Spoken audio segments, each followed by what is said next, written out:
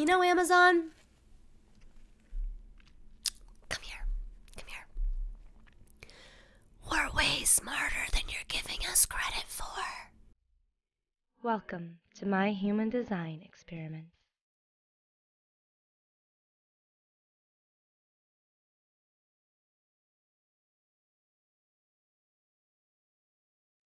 Hello, and welcome back to Mystical Mac.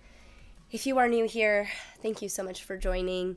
Uh, this video is going to be a bit of a rant, a bit of a negative rant. I'm super aware of that. If that's not really your vibe, no worries. Come check out another video or look through my videos. I have plenty of really fun videos with Adir. Um, any of the new moon videos are just super fun to watch. So check those out if you're not really in the vibe for this. If you are, thank you for staying. Um, this is a video I really wish I wasn't making, but it's a video I feel that I have to make. If you have noticed, I am in themed attire today. Even have a cloak. Because guess what? I love the Wheel of Time so much, I've made up my own character. Her name is Clara Sedai, and she's of the Yellow Ajah. Mm-hmm. Let's go. Um, I even have my own um, Ouroboros Great Serpent ring.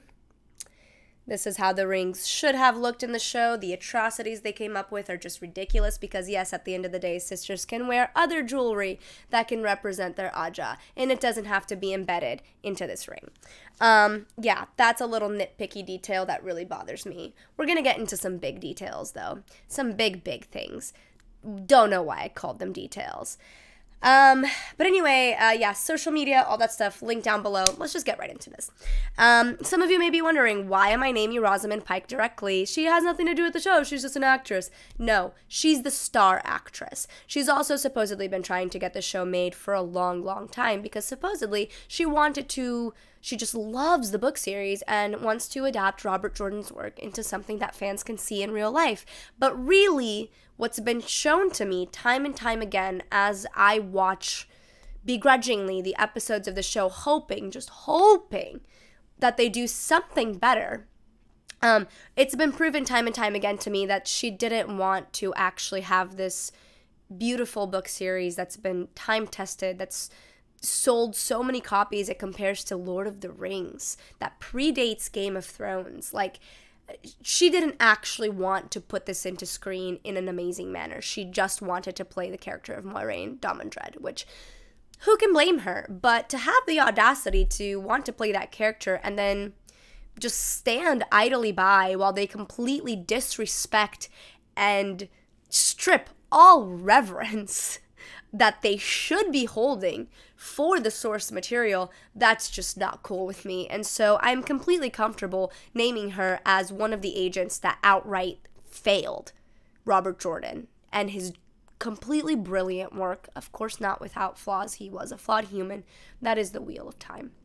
To begin this video, I really want to read this touching foreword by Brandon Sanderson. This is the foreword from um, book 12. I'm on book 12 right now, and I listened to the books, I listened to the audiobooks, and I was tearing up when I was listening to this because it's just truly.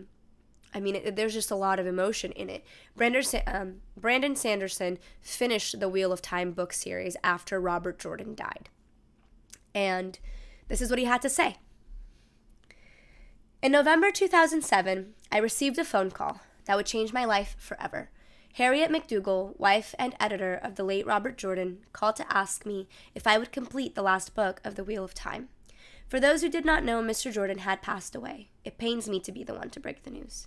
I remember how I felt when, while idly browsing the internet on September 16, 2007, I discovered that he had died. I was shocked, stunned, and disheartened. This wonderful man, a hero to me in my writing career, was gone. The world suddenly became a different place.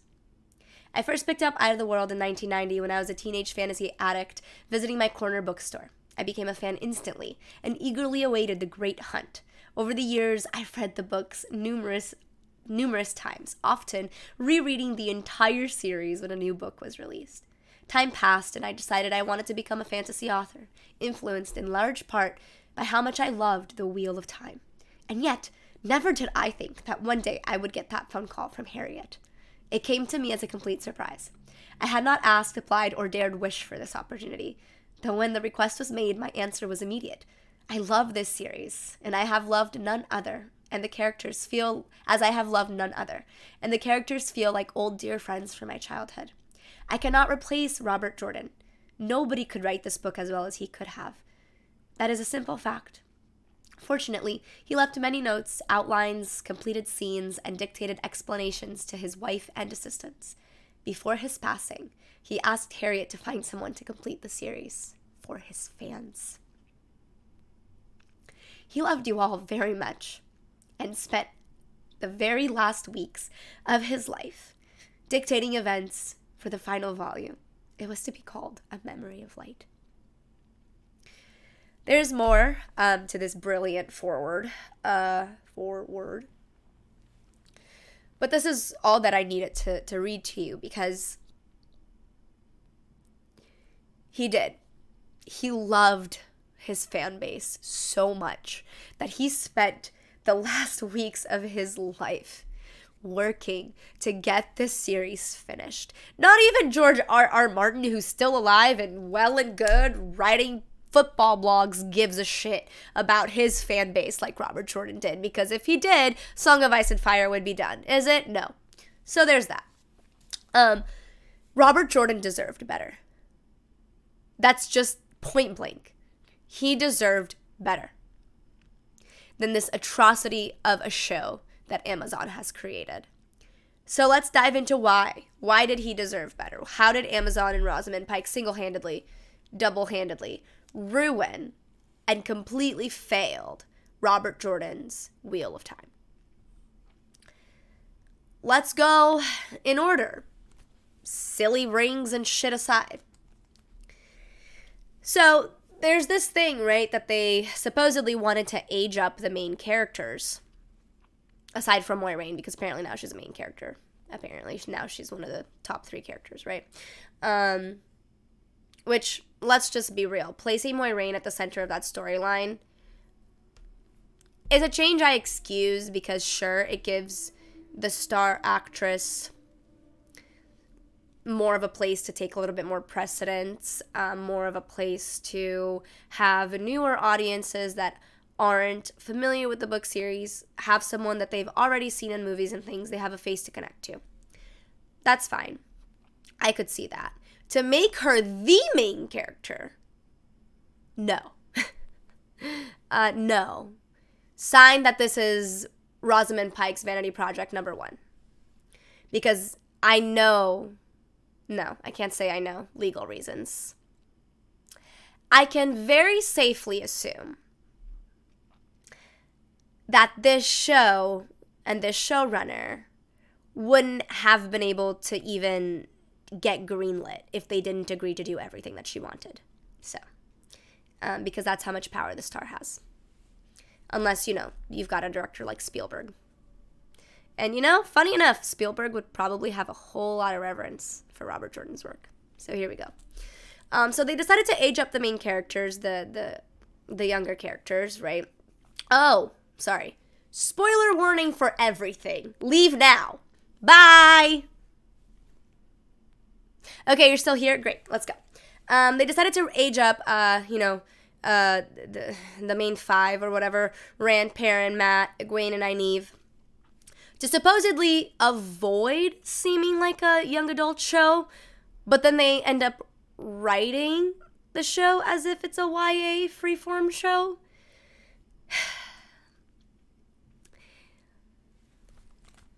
How did they do that? Yeah, okay. They rely on melodrama way too much. Honestly, like too many of the episodes, nothing really happens. People just show emotion and talk, and it's not even really interesting shows shows of emotion or interesting talks. The script is very dry or just completely overexposed. Most of the exposition completely given by Rosamund Pike, which shaking my head duh, but ugh. Um, they add unnecessary tropes and silly plots um, just to seemingly advance character arcs. Um, as if those characters don't already have plenty of information to go off of in the original work that is the Wheel of Time book series. So that's really interesting to me. Um, right? They they aged up these characters and added these sort of like mature content scenes where there's sex and there's this and there's that. And while they're completely stripping the Wheel of Time of what it actually is and trying to seem like a Game of Thrones knockoff with the name The Wheel of Time plastered on it, it also like just sort of makes the show look really really silly. Um, because it's not done well None of this is done well. Like, there are YA shows that intrigue me more than The Wheel of Time. Motherland being one, which, by the way, it seems like they completely ripped off the Motherland intro or the idea of the Motherland intro with the tapestry and stuff like that. Even the song, even the intro song, is so Motherland intro adjacent that it's kind of uncomfortable. So, yeah, from what I was saying, they try to avoid by seeming like a YA show by aging up their younger characters, and yet they still completely come across as a bad YA show in the way that they write and just how lazy everything is. Um, like, it honestly seems like it was a first ideas show. like, you know, you're in the writer's room, you have a problem to fix, and um, the first idea that comes to mind, you go, yes, that's the one, let's go with it, boom, we're done. A show like this deserves more. A show like this, or I'm sorry, um, source material like this deserves more. Source material like this deserves better. It deserves some time, some thought. It doesn't feel like they put any of that in here. Motherland has more time and thought than the Wheel of Time. And way less money, and somehow was way more intriguing. So, hmm, interesting. Um, the decision that the dragon can be male or female is a foundational decision that essentially should have let me know that they are willing to change anything in this show. Because if they're going to disrespect the source material to the degree of changing one of its foundational rules, the dragon has never been a woman, never will be a woman. The dragon is Lews Therin Telamon reborn. He will never be born into a woman's body. Period. To dare to change that for any reason, I don't care what it is, it's not good enough. That just shows me now, unfortunately, in hindsight, just them telling us outright we're using Robert Jordan's brilliant works as a rough draft from which we can loosely pull from and change and quote, quote, improve on whatever we want. They've improved upon nothing and ruined it all. Next, we have making the mystery who's the dragon instead of giving it to us at the start, like the book series did, and allowing us to see how the other characters fit around that story and how Rand sort of starts to discover that earlier on. Of course, this is a 14 book book series. So, um, it's obvious that, you know, Rand has to find out he's a dragon very, very early on in season one. And to draw that out and make the mystery, who is the dragon reborn, honestly, in my opinion, is one of the dumbest shit that they've ever done because there are so many more intriguing mysteries than who the fuck is the dragon reborn. Honestly, that's just evident in the fact that Robert Jordan didn't even want to hide that from us. He was very clear on who the fuck was the dragon reborn right away. And how many of us weren't intrigued to keep reading? Let me think a little bit more. Oh, well, definitely not everybody who's like loved the book and read up until for, book 14 and definitely not brandon sanderson who's reread the books 5 million times and you see where i'm going here? The show had the audacity to think that they had a better idea of how to navigate this story better than the man who wrote it. And this change is is evident of that. Sure okay who's the dragon? Eh Fine. Great mystery. No, it, it's not. It's not a great mystery because at the end of the day, it would have been so much more interesting to watch, to know that Rand is the dragon, but as the audience know, while everybody else in the show doesn't know, you know, not even Moiraine. Moiraine's still trying to figure out who the dragon is, but we, we know. That would have been so much more interesting. And you know what? It was. It was more interesting while reading the books. Um, so that was just again faux pas. Next, um, I really disliked the the using book buzzwords but never paying them off, which essentially like just left readers like myself very annoyed. Um, and especially readers like myself who have experiences in the filmmaking industry, very annoyed. Um, but also it left non readers at best confused and at worst honestly just completely misinterpreting those terms. Like my dad, whom now is listening to the books but hadn't started before he started watching the show, thought ta'veren had something to do with channeling. And you know why? Probably because she used that word once and then threw it out and nobody ever saw it again. Even though the idea of a ta'veren is very important, and by now that should have been well explained. And it hasn't, so, you know. Um, also, the Ajahs, the existence of the Ajahs, not really fully properly explained. And in my opinion, like, that is an area of exposition that I wouldn't mind being a little bit overexposed because I know what they are. I know why they're different sisters in different colors.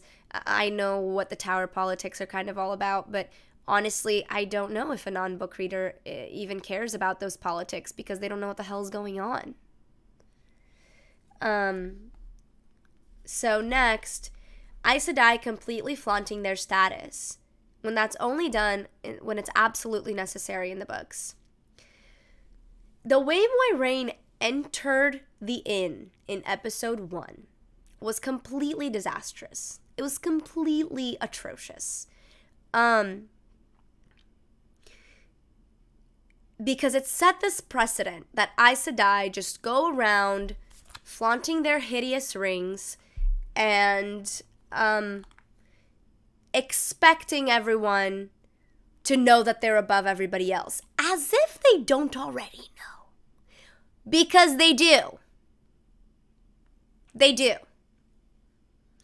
Everyone fucking fears Aes Sedai.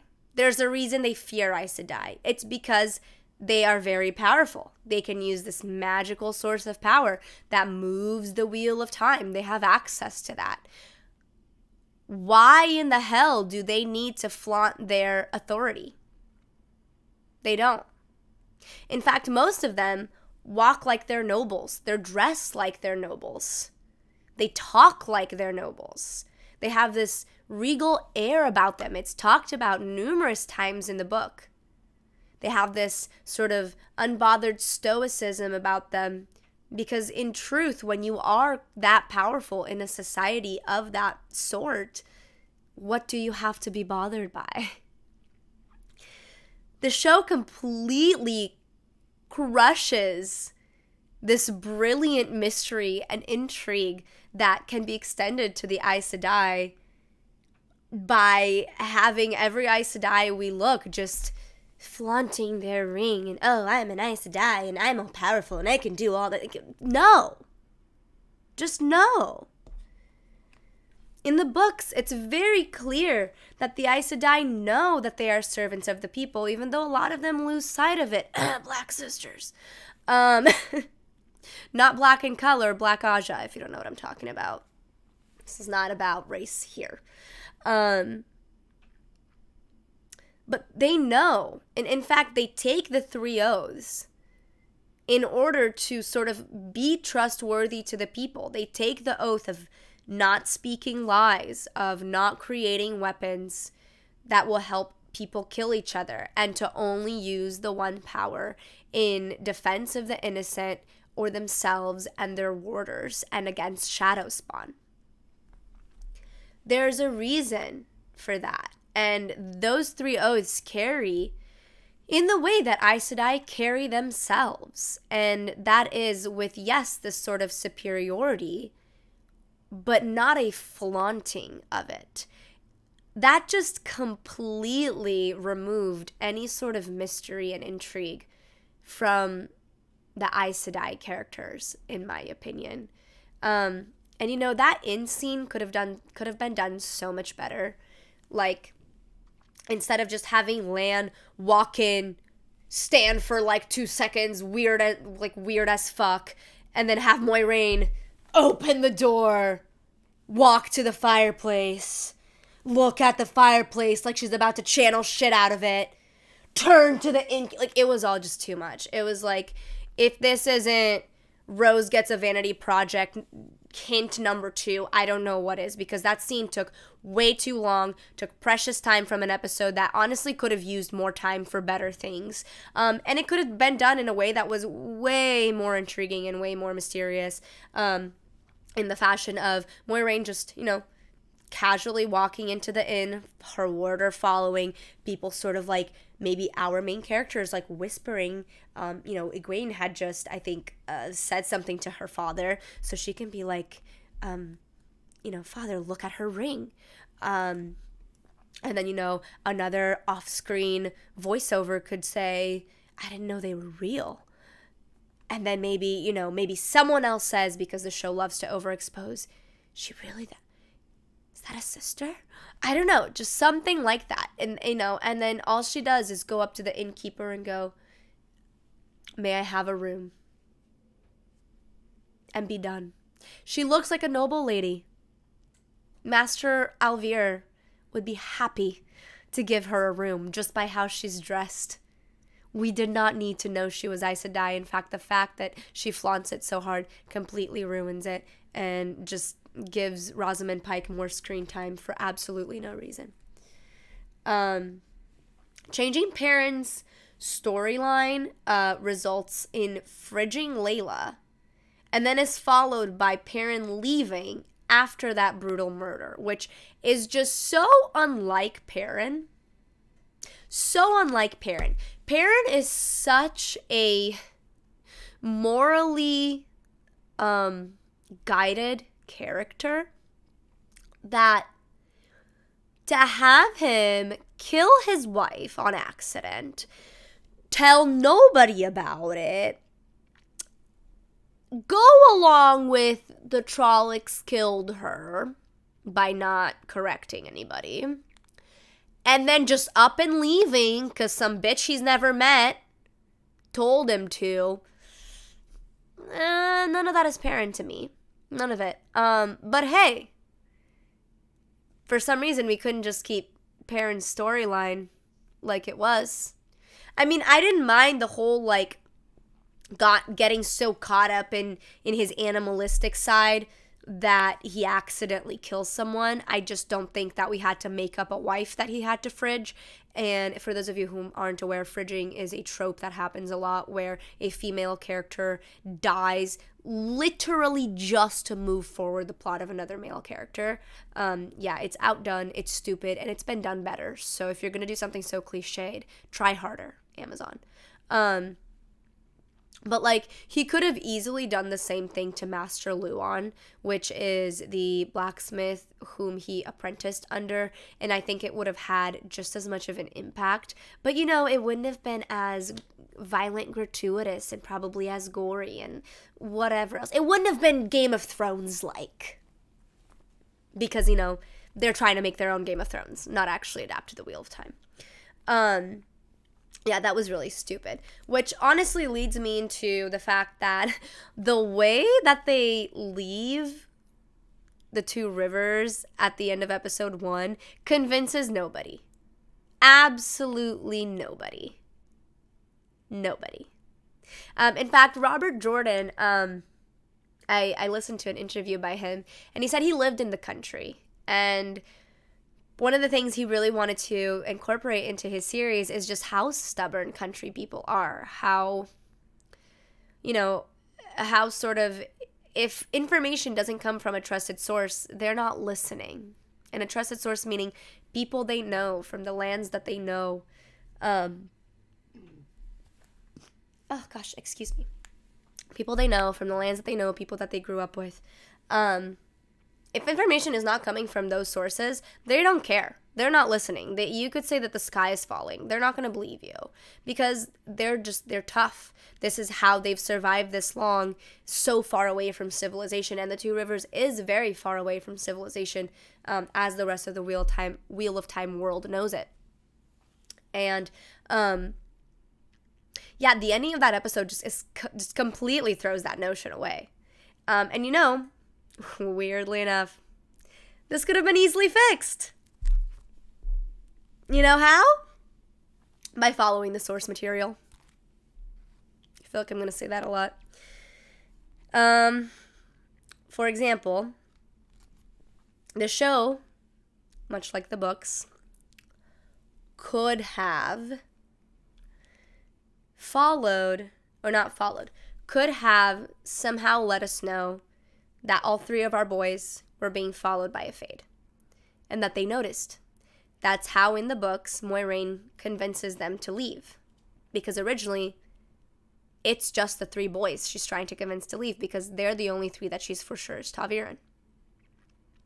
And Egwene sort of just follows after them because she I think I don't know if she gets shown that she can wield the power. Um, I think so. I think something happens in the Two Rivers with Moiraine, and she gets shown that she can wield the power, and she becomes, you know, ambitious enough to just go with them and leave as well. And then, of course, Nynaeve follows suit because she wants to bring the kids back to to Emond's Field. But um, originally, that's what happens. Moiraine tells them, like, hey, these fate, th- th- these shadow spawn are gonna come after you again. I know you know they were following you. I know you know you were being followed by a fade. And all three of them, like, essentially go, well, shit, yes, we were. Maybe she's right. Um, and that's way more of a compelling reason for them to actually leave the only place they've ever known, the place they want to grow old and die in. Um, especially being these stubborn Two Rivers folk that they are. And that is a big, big thing in the book that Two Rivers folk are stubborn. Stubborn. Much like the country folk that Robert Jordan grew up around. Um, so, just like, and this happens more often than not like flimsy flimsy storylines flimsy reasons for things that make no sense this is just one of the really big ones that popped out to me um, and for some of you that might come at me and be like, well, it would have been harder to show the show fade following them. You don't have to actually show the fade following them. You know, in that scene, that first scene when we get Mat, Perrin, and Randall talking together, if maybe we could have not changed Perrin's storyline, instead of talking about Perrin's wife that didn't exist ever in any storyline, we could have been talking about how they were seeing the stuff of nightmares. Um, and then one of them is like, no, no, no, it's okay. I don't want to talk about it. And then the other one is like, wait, did you see a dude with a cloak that didn't move? And then all three of them just like have a look within each other. And we all know via that very subtle but very effective scene, they have all been followed by Shadow Spawn, specifically a Fade. Um, this also brings me to um, come back to that little note I have about like book buzzwords and things being used and then never being paid off. Um, the fact that in Winternight, when Tam fights off that Trolloc, we get an insert of the heron marked blade, but no one ever says what it means or remarks it again, is just fucking atrocious. Don't give us that insert if you don't plan on doing anything with it. It's irresponsible, it's lazy, it's stupid. Book readers, you know, Amazon? Come here. Come here. We're way smarter than you're giving us credit for. We all read. I'm still reading a very dense work of fantasy written by a very, very good writer. Such a dense work of fantasy that you can find new things upon rereading and re listening every single time. So, for you to think that you can just insert these little things from the book and readers are going to be like happy about it, even though you never touch them again, no, we're outraged. I'm outraged. I don't know who else I can speak for here, but I'm fucking outraged. If you were gonna show us the Heron Mark blade, you were you have to talk about it, and you haven't. You've done nothing to talk about it. And you know what? At this point, if you talk about it now, it doesn't matter anymore. It's forgotten. It's done. And I'm fucking livid over it because the heron marked blade is a huge sticking point. The fact that Rand, a clear shepherd boy from a farm, is carrying around a Blade Master sword, it's a huge thing throughout the whole first few books as Rand learns to be to be worthy of that sword, that Blade Master sword, to to learn how Tam became a blade master probably in the first place or muse about it. Like there's so many different things that just sort of swirl around that heron mark. And for them to just completely disregard it and and throw it in like some sort of flash for book book people to like potentially maybe hook them to the next episode. It's fucking lazy. It's inconsiderate. It's disrespectful. Go fuck yourselves. Um yeah. Also, when it comes to Winternight, you did Rand a really great disservice uh, when it comes to how he takes Tam uh, to Emond's Field. Because what happens in the book is they get attacked by Trollocs, and Tam gets, you know, mortally injured as he did in the show. But because their farm is a little bit further away from Emond's Field, it's actually a great act of heroism that Rand takes Tam from their farm to Emond's Field on their mare, Bella. It's the first time we see Rand al'Thor display heroism. It's very important that we see that because come the end of the first episode, I don't give a shit about any of those characters. I don't. And it would have been really cool to at least be able to give a shit about Rand. But we were so wrapped up in not giving any one character too much screen time except for Moiraine, Um, as to not bungle up the who's the dragon reborn mystery that we essentially completely did away with any of that and forgot to give us reasons to actually root for our characters. Okay. Um where we at? Yeah. So Mat's development didn't have to involve changing his family life to a completely cliched broken family trope. Should I drop the mic? I won't. I paid a little bit for this mic. I don't, I don't want to drop it. But really, though, it didn't. It really didn't. Um, I understand I get it that there's some arguments by uh, the YouTubers that have been bought by the show that you know they're they're trying to defend these changes till the end of time. And one of the ways they try to defend the change to Mat's early storyline is because in the first few books he really doesn't get a whole lot of development because for a great majority of it or for great majority of those first couple books at least he's under the influence of the dagger so we don't really get mat as himself um, and therefore we don't really get a lot of uh, chapters in his perspective, and therefore his character does not get as developed as probably a lot of people deem appropriate, um, you know, for the first season of a show. With that said, though, I don't feel that there was any need to completely change change his foundation, his character foundation. Um, Mat, uh, once he does start to get development, he becomes a very very compelling intriguing character in fact um, he's kind of what i like to call like a trickster trickster slash scoundrel with a good heart. With a great heart. Um, and that in my opinion is incredibly intriguing.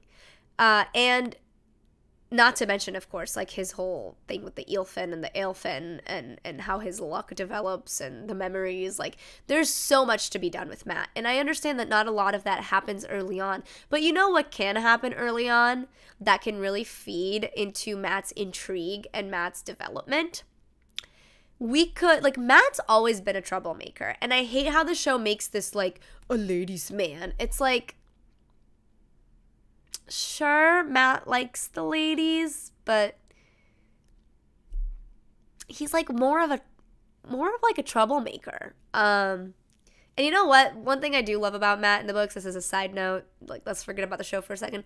Mat in the books, he is a champion for consent. Like I love that. I love that. He's like, I don't want to kiss a girl who doesn't want to kiss me back. And I'm like, go Mat. Go Mat.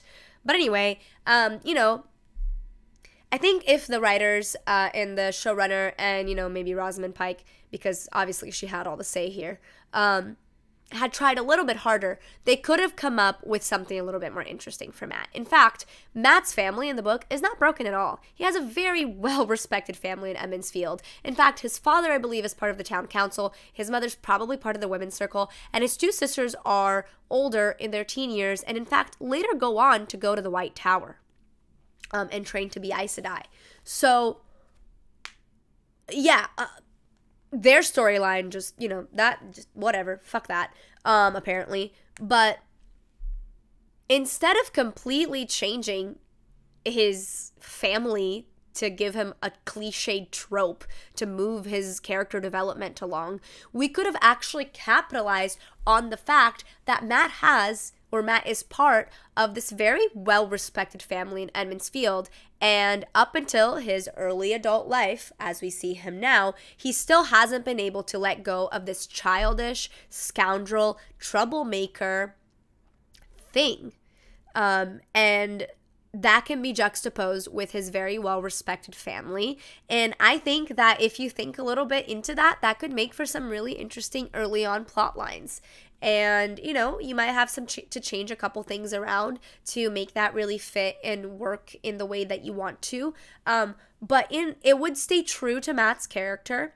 Um and uh and you know you can even choose to show that you know he does have moments of like considering his family and considering his friends. But that obviously he's always going to go back to rolling the dice and he's always going to go back to having fun at an inn and dancing with the girls and you know and you don't have to make him a drunk and you don't have to make him a scoundrel to the degree where he's a criminal, but you can certainly make him somebody that is very opposite of the family that he's come from. And that in turn makes him an interesting character in Emond's Field, um, especially because it's a place where everyone kind of falls in line.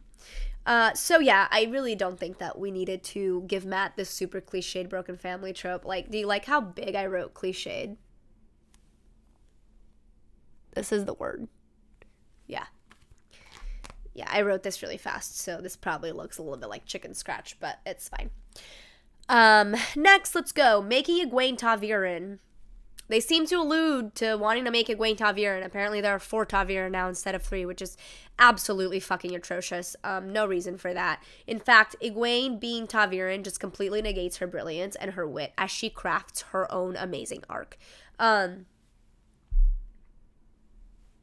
insert chapter 24 of Knife of Dreams, Honey in the Tea. All of that was Egwene's own work none of it ta'veren. If you guys know what I'm talking about, you know what I'm talking about. If you don't know what I'm talking about, there's a pivotal chapter in Knife of Dreams, Book 11 of the Wheel of Time, where Egwene displays just a 101 guide of how to be a brilliant leader and how to help an empire fall from the inside. And you know, if she's got ta'veren forces at work for her, it completely takes away of the fact or takes away from the fact that she did that on her own with her own wit, with her own knowledge, with her own timing, her own persuasions. Because part of being ta'veren is things happen around you that are unexpected for most people. Things fall in line around you that are unexpected for most people. And, you know, the way that that chapter falls in line, if she were ta'veren, most of us would be like, oh, well, she's ta'veren. So I guess that makes sense that it ended up that way. But because she's not, it makes it that much more impressive. Honey and the tea. Once you get to it, you'll know it it's incredible. And to make Egwene ta'veren just completely takes away from her incredible agency and her incredible character arc, which is arguably one of the best in the book. Next, Nynaeve's uh, caretaker, mother, whatever, being sent back from the White Tower because she was in rags. I don't have an issue with them giving Nynaeve a backstory, um, especially a backstory of a woman, you know, that cares for her that went to the White Tower and got sent back. What I do have an issue with is the fact that they're making the reason that the Tower sent her back um, a money issue when in truth the tower is not elitist for money. The tower has no reason to be elitist for money. In fact, if you are a queen and you go to the tower to train as Aes Sedai, the tower will treat you like any peasant. Um, your status as monarch is now removed. You get to be a novice like everybody else. You scrub pots, you scrub floors, you do all the things that everybody else does. It doesn't matter what the fuck you were before you came here. You're a novice of the White Tower now. So tell me why a place like that would send away a girl who's in rags. I don't understand. Now, what would make more sense is if said girl came, displayed that she had some sort of ability to touch the one power, but it wasn't enough. It was not enough for the White Tower to be like, okay, you can stay and train as a novice. Because guess what? White Tower is elitist, but not for money. They're elitist for the one power. And in fact, one of their biggest flaws and one of the things that undercuts the White Tower the most in the book as we know it is this idea that they refuse to take in girls from under a certain age. And um and so what ends up happening is a lot of a lot of um a lot of women end up outgrowing the age that they can actually go to the tower and they end up becoming wilders. Um, and I'm just going to insert this here right now. I'm really, really disappointed with the way that we seem to be completely doing away with the Wilder theory in the show. Um, so Wilders, right, in the in the books, the reason that a girl goes to the White Tower, that a girl gets sent to the White Tower, is because if she doesn't learn to wield the one power properly, she could kill herself. Um, and it ends up happening to a lot of young girls, they'll touch the source. They won't go to the White Tower. Um, soon enough, they'll sort of contract a really dangerous, crazy, deadly fever sickness thing and they'll die because essentially they get burnt out from the power from the inside out because they don't know how to use it properly. And that's part of the reason that it's very important that when a woman starts to show signs of channeling that she be sent to the white tower. Now there are way more cases than the white tower cares to even think about or consider in the book that um, where a, a girl touches the source and then somehow is able to continue living by providing a sort of a sort of block to the power within herself. And this block allows her to continue living her life um, while having access to the one power in very specific situations uh, where that block can be lifted. For Nynaeve, that is an, an anger block. So Nynaeve is a wilder. Um, she doesn't, much like Egwene, she doesn't listen to the wind. The wind listens to her. Um, one of the few lines in the show that I find redeemable. Um, and she she what she does is when she gets really angry she can like miracle heal. Um and this has happened a lot in her wisdom career as the wisdom of Emond's Field where she sort of brought people from the brink of death um, because she's done everything she can with her poultices and her ointments, um, but it ends up not being enough. And she sort of takes their hand and like gets real angry that they're not getting better. And all of a sudden that block lifts and healing surges through and and the one power helps her. And she's able to miracle heal some people without the knowledge that she's really miracle healing them um with the one power. Now there's this weird thing that the show's doing where they keep mentioning over and over and over and over again that Nynaeve has only now touched the one power for the very first time. And I really hope we can do away with that bullshit because to take Wilders out of the series completely, I mean, you're just creating a lot of future problems for yourself because there are wilders in the sea folk, there are wilders in the Aiel wise ones, there are wilders basically everywhere. The kinswomen are a bunch of wilders. Um, in fact, wilders is part of the reason why the White Tower begins to flourish again later on in the series. So um, I really hope that they just get away from that. I really hope that they're force feeding us this idea that she's only touched it for the first time because she hasn't, and we're gonna find out. But I don't know. It, it's really stupid. Um, but to go back to what I was originally saying about Nynaeve's caretaker story. Um, it's just really stupid and unnecessary and misrepresenting of the White Tower to me to have this little tidbit where her caretaker got sent away for being in rags when in truth it would have been way more convincing if she had been sent away after walking all that way because she could only really channel a trickle of the power and it was not enough for the white power for the white tower to keep her there and they sent her back and you know it would have created just as much contempt in Nynaeve because she wouldn't understand if she can channel, she can channel. What's the difference? Because she's not part of the White Tower, she doesn't get the politics. Um, and it, in my opinion, uh, it, it just it was not something that needed to be said that way. It was it could have easily been changed, very easily, and it wouldn't misrepresent the White Tower and the show that they're supposedly trying to um to honor Robert Jordan with. Ugh. Next, this is a long one, isn't it? Um, Adding stuff from New Spring, such as Stepin and Kerene's storyline, only serves to put Moiraine further in the center of the story for absolutely no reason. There was no reason for the storyline with Stepin and Karini. None.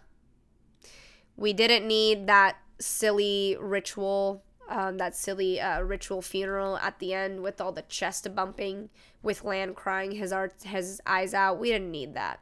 We really didn't. Um, Moiraine doesn't die for a long time. There are plenty of ways uh, that we can explore how a warder feels when their Aes Sedai dies as the show goes on. And it really didn't need to happen this soon. But you know what needed to happen? Rosamund Pike needed to have more screen time. So that's what happened. Next, mistaking the Aes Sedai being pillow friends as having undying love for each other. Now, it's common knowledge in the book that Aes Sedai in the tower, um, while they're novices and accepted, do become pillow friends every now and again. And if you know what pillow friends means, it, it's like it, it's casual sex, basically. It's casual sex, okay? Um, it's not yeah, it, it it's not Siuan and Moiraine having an undying love. The Amyrlin seat waits for no for one woman, and that woman's not you. Go fuck yourself, Rosamund. You just probably have never played a lesbian role, and you probably or a bisexual role, and you probably just wanted to entertain that. So they added that stupid, frivolous bullshit in. Um, but really, we didn't need that. Like, in fact, most Aes Sedai leave their pillow friends behind once they're raised to the shawl, and they just act like two sisters of the Aes Sedai. Um, and there was absolutely no reason for that, especially, especially when both of those characters go on later to have heterosexual relationships with men that they truly love. But you know, for all we know, that's not going to happen anymore because because they're not actually using the source material properly. Just they're just using it as a rough draft that was written by some high school student who didn't know anything which is incredibly disrespectful as i'm going to keep saying. Um, next involving more magic just because or i'm going to say it again or because that's what rosamund wants. Um, uh, case in point the oath rod what was the point of Moiraine swearing that she wasn't going to come back to the White Tower till the Amyrlin called her back on the oath rod? Tell me what was the point of that when one of the oaths she already holds is to tell no lies. I'm waiting. You don't have a reason either? Oh, that's right. Because if you've already sworn an oath that is magically binding to the point where when you're about to lie, you go, because the words can't come out because you are physically uh, disallowed to lie. Tell me why swearing a fourth oath on that rod, which by the way in the book has like I don't know if I've gotten there yet, but it has like repercussions to like swear more oaths on those rods. Like it's not it's not that simple. Tell me why we've already had that oath be known and now we're having her swear again on the oath rod. You know what? I'll tell you why cuz we needed close-ups of the ch- of Rosamund Pike and that chick who plays Siuan Sanche being all emotional because because they're undyingly in love with each other. Stupid. Um, again, more magic where it's not needed. The Stepin storyline and that stupid, goofy chest pounding ritual at the end of episode, I don't even know, five or whatever. Stupid. Um, oh, the ways now can only be opened through the one power. Woohoo! Aes Sedai are all powerful, friends. They have no limits. In fact, the Ogier built the ways for the Aes Sedai, apparently, because they're the only ones who can open it. What? What? For those of you who don't know, the Ogier ways are open via an Avendesora leaf, um, a, a stone Avendesora leaf. Avendesora is the species of this great, great tree that the Ogiers worshipped a whole lot. And they built the keys to the ways based off of the Avendesora. And it's actually a really intriguing way um, to open to open the ways. I think it's a really cool thing. But also, you know, it makes sense because the Ogier created the ways. Or not, I'm sorry the ways were created um, so that the Ogier could travel between settings without like having to go through the rest of the world. Um, and not only that, the ways were created by male Aes Sedai, which is why they're riddled with the corruption of the Dark One. Like, so the fact that saidar, the female half of the Aes Sedai, can now open the ways is even more like out of alignment with the source material. Like also, what so Ogier, who don't really like to fuck with Aes Sedai, they don't really like to fuck with human problems. What they just they needed an Aes Sedai every single time they wanted to go through their ways yeah, no, that seems stupid. Real stupid. Um Yeah. Yeah, it's really dumb. Uh the way that uh Shadar Logoth's story gets twisted, I really didn't appreciate that. It like it, it makes Mat taking that dagger seem really inconsequential. Like Lan basically explained to us that the reason Shadar Logoth is such a dark and cursed place is because that the people who lived there didn't aid Manetheren when Manetheren was dying, and therefore they became evil because of it. And it's just like, okay, how many towns and cities in time of war did the same thing? And they didn't end up turning into pure evil that not even Shadowspawn wanted to walk into. None! None did! Aww! That's why Shadar Logoth's story is so fucking brilliant and imperative. You know why? Because the actual true story of Shadar Logoth is that Shadar Logoth's people were trying to be real smart. They were like, well, if we want to if we want to truly be able to fight on the level of the darkness, then we have to become like the darkness. And they set out on that plan. They set out on the plan to become just like the darkness, to become as dark as the shadow spawn in order to be able to correctly and effectively rival them. That plan heavily backfired, and the entire city became consumed by an evil that was so dark, so dreadful that even Shadow Spawn no longer wanted to enter that city. In fact, everyone in that city became completely consumed by the darkness that they'd all created once, you know, in that plan that they had that they that had backfired. That, oh now that makes that makes a cursed city make more sense. And it makes way more sense for us to look at Mat as a dumb fuck for going off and just taking something out of it. Whereas with with um, the show's explanation, I'm just kind of like, yeah, I might have gone looking, searching through the cursed city too, because you know I'm kind of a risky bitch like that, and I like to touch shiny things. Again, just an example of them trying to give us a reason that's complete and utter bullshit.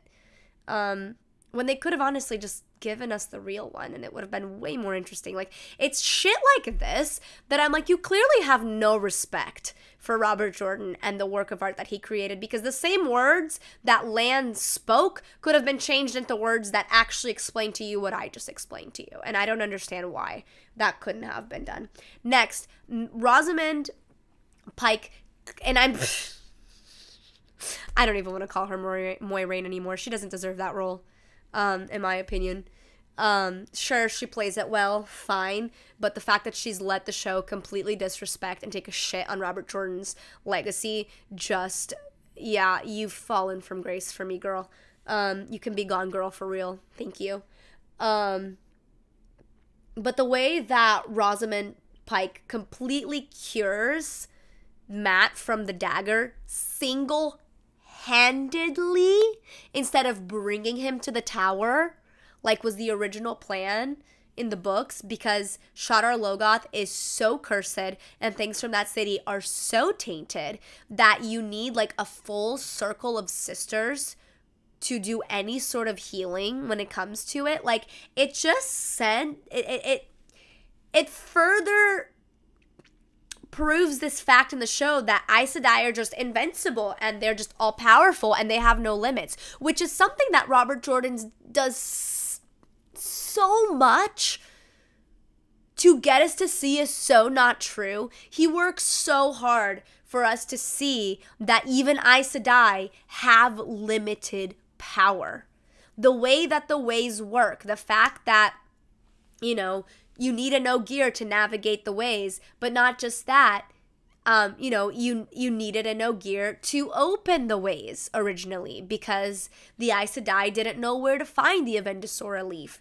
Um, you know, like there's so many things, and then just that the fact that there are certain things that can only be cured and healed by a circle of sisters together. Like it's so interesting because they push this like this narrative of Aes Sedai being super all powerful, or I should say, I'm sorry, Moiraine being super all powerful. It's just her friends. She's the all powerful one. Um, but then you know, but then they they have I don't know, other nonsense like them getting completely overtaken by Logain's army when Logain's army didn't even seem that fearsome in the first place. They did not make it look that fearsome. They did not make it look like that many Aes Sedai and Warders should have died. Like there there's just so, yeah, it's like a lot of fucking mixed signals. I don't even understand, but I'm over it. Um I'll just read you I'll just read you the last few things that I said here in my notes and then this was probably going to be it for this video. I'm not sorry at how agitated I am. I'm not sorry at how ranty this is. I'm really heavily disappointed in all of this. So I said, clearly this isn't Wheel of Time. It's a very, in all caps, loosely based, severely watered down, young adult, freeform version of something that borrowed characters in a magic system from the Wheel of Time. It's Rosamund Pike's vanity project. She's always featured, only magic is done with respect to the books. Everything else is kind of like caution to the wind. And she has now the audacity to have a version of the Eye of the World audiobook narrated by her. Look, yes, I read the first few books, but I've since shifted to the audiobooks because they're just easier for me to consume. And Michael Kramer and Kate Reading do a phenomenal job at narrating these books. Phenomenal. So much so that to have the hubris to put out a version where you narrate it just for shits and giggles because your head is big enough, in my opinion, is just stupid and outrageously disrespectful to the hours of brilliant narration that these two have put into every single volume of this series. And it just further excuse me, it just further proves to me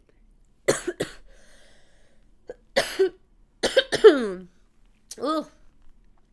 Maybe she's learned some real magic. Maybe she doesn't want me to say this next part. Just kidding. I, am stronger in the power than her anyway. Um, it just proves to me that this really is her vanity project. Um, and it's really sad. Yeah, in fact, like the last episode I did watch, um, I think was the the Flame of Tar Valon. Oh yeah, they've also changed the pronunciation of Tar Valon to Tarvalon. It's Tar Valon. Yeah. Um that was the last episode that I watched and there was not one scene that Rosamund Pike wasn't featured. Considering she's not supposed to be the main character of this show, I it why? Just why?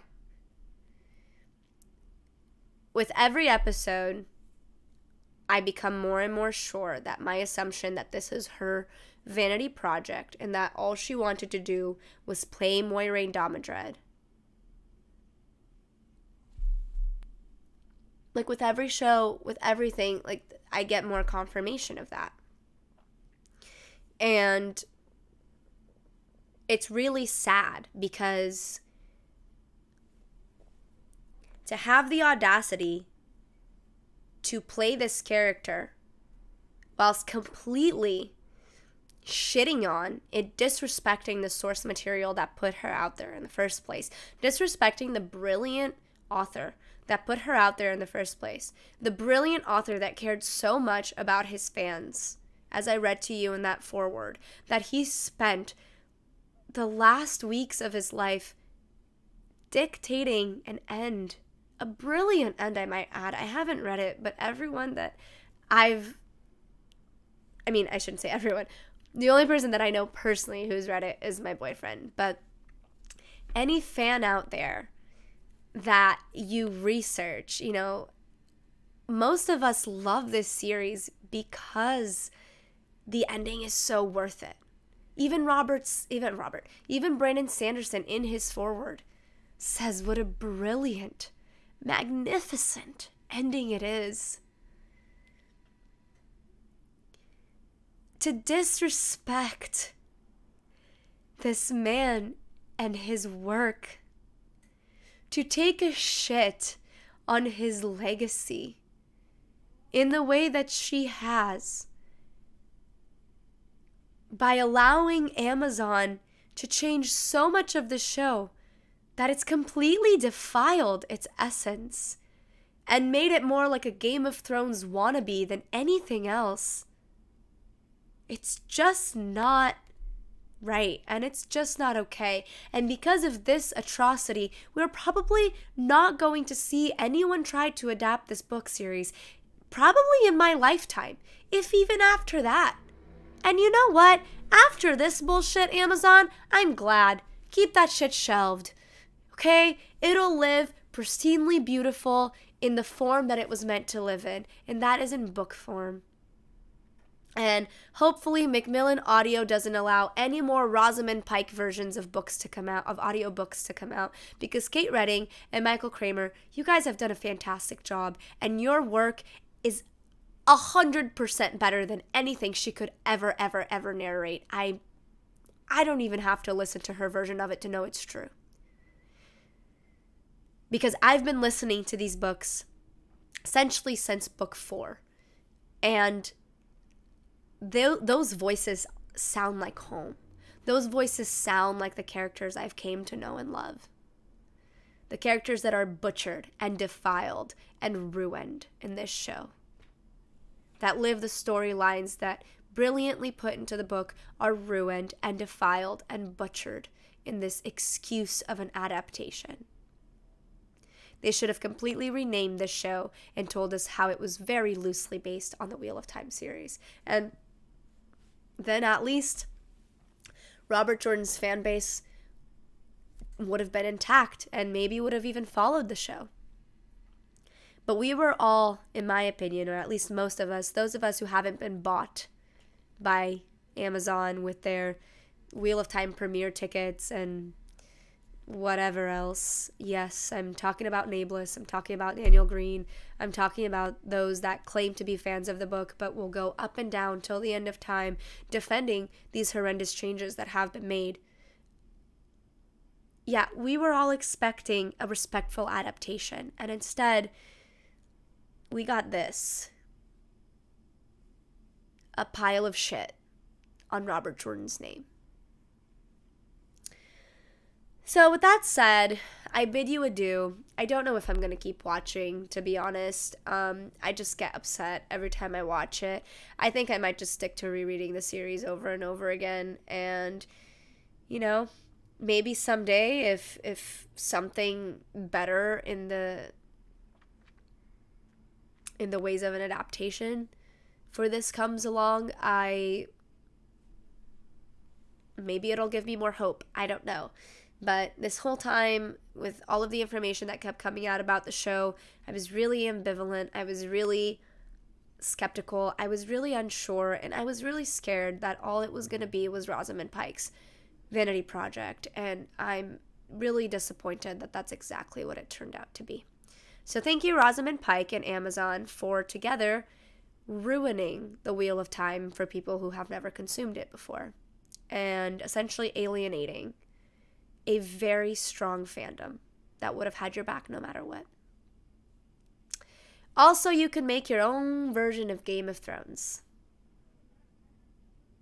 Too bad. Could have had something better, something completely different, something really well done. You could have had the Wheel of Time. With that, thank you, folks. Stay mystical, stay grounded. If you watched up until now, I'm deeply grateful for you. And uh, for one of my less ranty videos, check out my video history and subscribe for more. Mwah. Oh. And may you always find shelter and shade.